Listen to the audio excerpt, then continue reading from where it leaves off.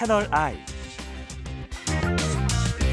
보수라는 거는 증세 없이도 복지가 가능하다는 게 보수고 진보는 세금을 더 걷어서 그걸 복지로 나누자는 게 진보인데 그럼 유승민 의원 같은 분이 증세 없는 복지는 허구라면 그럼 새누리당 보수당인 새누리당에 있지 말고 진보당 저 정의당으로 가야 되는 거야. 유승민 너무 의원. 가신 아니 것 아니. 새누리당엔 계시면 안 돼.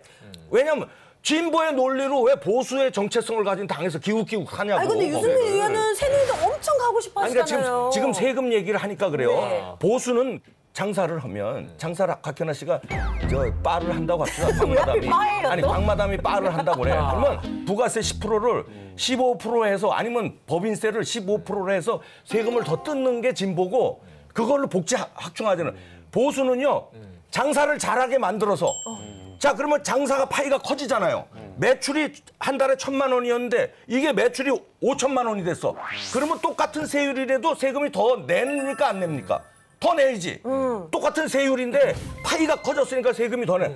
그래서 정부 재원을 늘려서 이걸 일자리 창출하고 복지도 늘리자는 게 아니 근데요 보수예요. 제가요 바를 차렸어요. 파이로 확 키워가지고 어. 여기 양주도 놓고 그렇지, 했는데 투자도 하고. 투자도 하고 일자리가 창출되잖아. 그렇지 커졌으니까. 했어 막 그게 보수야. 이쁜 친구도 막 이렇게 그렇지, 그게 보수야. 주고 이렇게 했는데 사람들의 돈이 없어. 그게 와서 술 마실 돈이 없는 거야. 그래가지고 결국은 제가 매출이 뚝뚝뚝 떨어지는 거예요.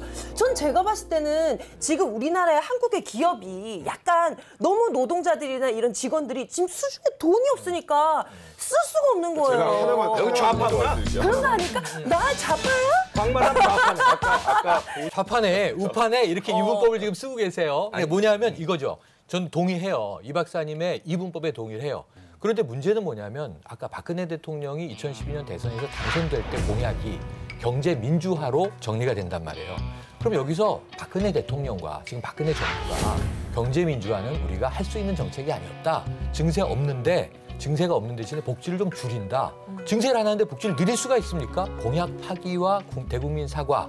그래서 이제는 이 정책을 바꾼다라고 하는 국민 소통이 필요한데 그걸 꽁거먹은 듯 입을 다물고 그냥 가니까 국민들은 왜 복지는 안 그건 합니까? 잘못했지, 근데 이렇게 되는 거죠. 소통 일이 꼬여 있어요. 거예요. 채널 I.